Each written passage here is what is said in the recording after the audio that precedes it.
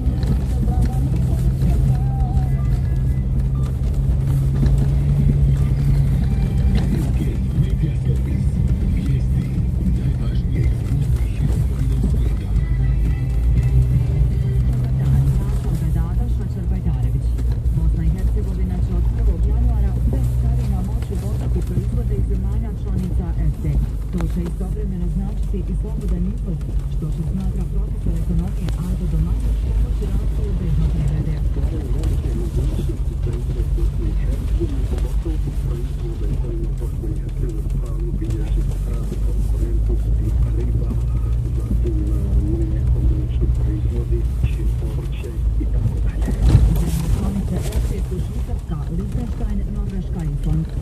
Island. Dejtonski sporazum je 19 godina nakon potpisivanja postao teret za Bosnu i Hercegovinu, smatraju analitičari. Jedan od učesnika pregovora u Dejtonu, Miro Lazović. da se može potpuno sinkronizirati Bosna i Hercegovina i globalno već bila na putu stabilnosti.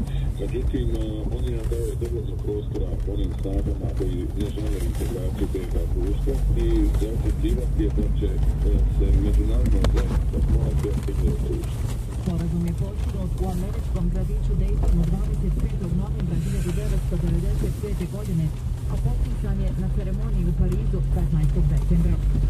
Večeras će se znati ko je najljepša djevojka na svijetu.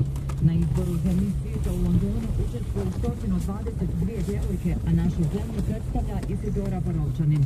Kladionice najviše šanse za osvajanje titule daju predstavnicama Južne Afrike i Indije. Slušali ste vijesti na RSG radiju. U Travniku 6 stepeni, Sarajevu 8, Konjicu 9, a u Bikasu 14. Danas će biti sunčano uz malu oblačnost, temperatura do 15 stepeni. Sutra je preko sutra bit će oblačno.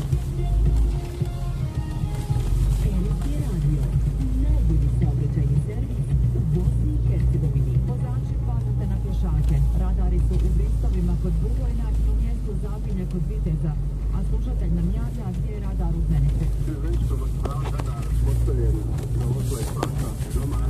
Hvala vam i sretan put, ako imate korisnu saobraćajnu informaciju ili savjet vozačima, pozovite najbolji saobraćajni servis u Bosni i Hercegovini, besplatni telefon 850